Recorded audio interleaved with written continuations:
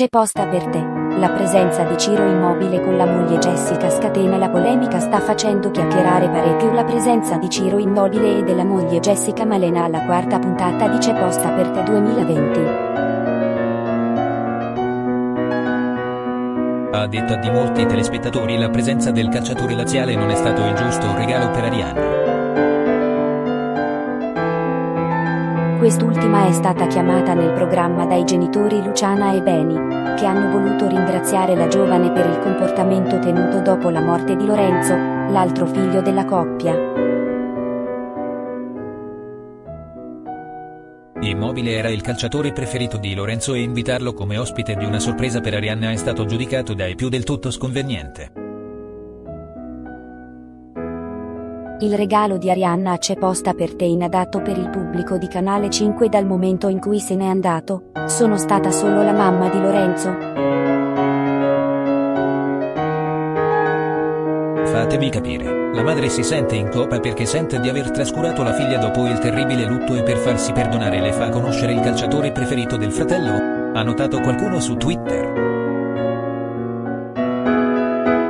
Sono qui per parlare di te e le porta a far conoscere il giocatore preferito del fratello, ha aggiunto qualcun altro.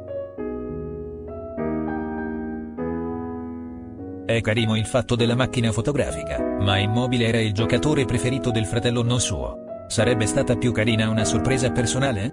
Specialmente dato il motivo della busta, ha ribadito un telespettatore di C'è posta per te.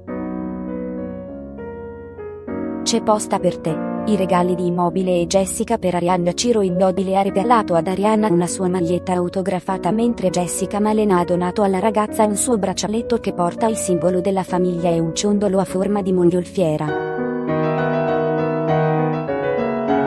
Oggetto simbolico molto importante per Arianna, che se l'è addirittura tatuato. La coppia ha poi donato ad Arianna anche una macchina fotografica, data la sua grande passione per la fotografia. Criticata anche la presenza di Jessica, moglie di Immobile molti telespettatori posta per te hanno però giudicato inutile la presenza di Jessica, conosciuta al grande pubblico solo ed esclusivamente per il suo matrimonio con il calciatore napoletano. Ma se non capivo la presenza di Ciro Immobile che era il mito del figlio e non della ragazza, cosa c'entra la presenza della moglie? Ha osservato un telespettatore.